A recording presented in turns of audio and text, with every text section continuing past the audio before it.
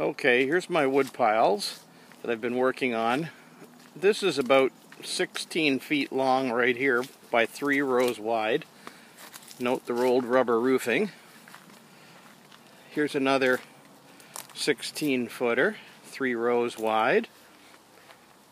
And there's two more over there. As we swing around here, That's three rows wide and the building is 40 feet long. We'll just walk along here. It's all covered with steel roofing.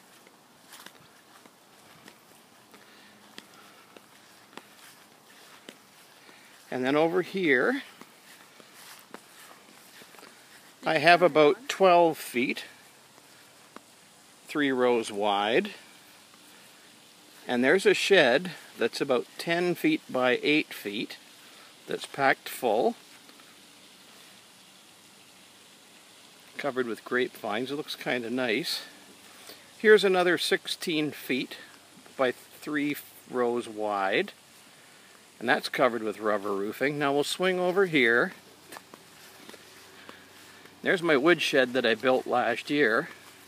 That's 16 by 8 by 6 feet high. And it's packed solid. Here's the wood that I cut this summer. These are all about 16 or 18 feet long, three rows wide. In the first pile, it's mostly ash.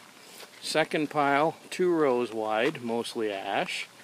In the middle, a little row of poplar. And then another three rows of ash. And then I've got some uglies here on the ground. And they're stacked in front of another 12 or 14 foot pile of ash that's two years old. And that is three rows wide. And down by the house here, I've got another little stash of apple. That, and some poplar in with the apple too. That's from a tree that fell over. So I haven't measured it all up, but a fair bit.